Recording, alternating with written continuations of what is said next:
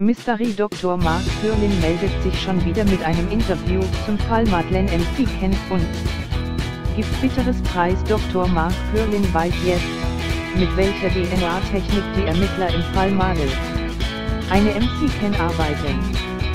Sein Fazit ist verheerend.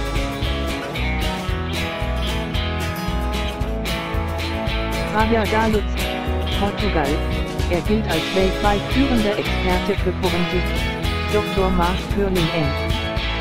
Hüte jetzt gegenüber News.com auf, warum seine Hilfe im Fall Madeleine MC Kent ignoriert wird, es ist eine bittere Wahrheit.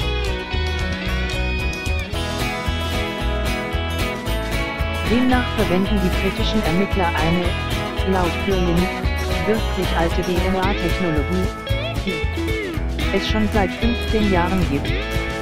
Diese wiederum wurde am späten Ostermontag von der Sun in einem neuen Artikel als Wundertechnik beschrieben.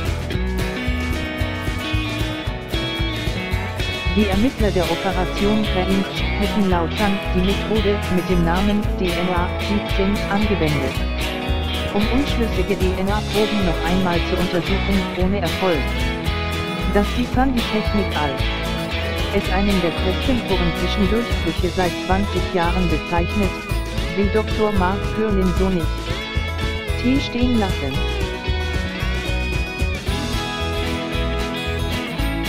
Gegenüber News.com aus sagte er in einem aktuellen Gespräch, da ist nichts unheimlich Neues dran. Im Grunde genommen, handelt es sich bei DNA 17 um eine ältere Technologie, die als neu dargestellt Tebe. Sie ist neu für die Briten. Dr. Furlin erklärte, dass die DNA-17-Technologie seit rund 15 J.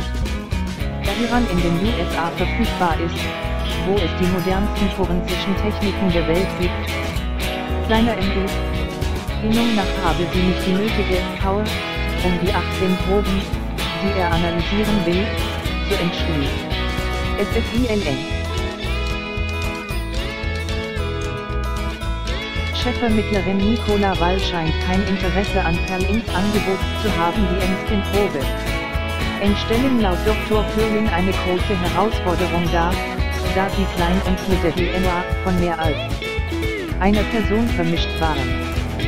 Laut Nein, kommt auf hat Nicola Wall, Chefin der Operation Grange, das Angebot von Dr. Pürling, 18 Schlüsselproben kostenlos zu analysieren, bisher nicht angenommen.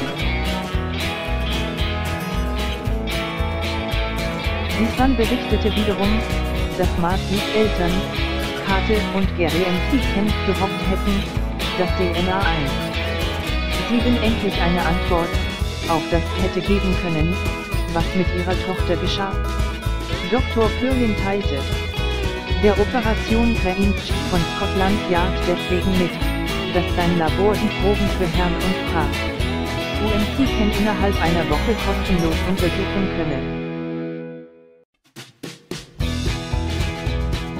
Warum die Ermittler auf die bahnbrechende, neue Technik des Forensikers verzichten und stattdessen auf F1, laut ihm, veraltete Technik setzen, ist weiterhin vollkommen offen. Fast schon zynisch lief, schließlich da, das am Ostermontag veröffentlichte Posting, auf der offiziellen Maggi Facebook-Seite, M. An hat immer neue Möglichkeiten, solange man Hoffnung hat. Die vielleicht beste Möglichkeit, Licht ins Dunkel um das Verschwinden von Lady MC Kent zu bringen, lassen die Beteiligten bisher jedoch nie erstreichen.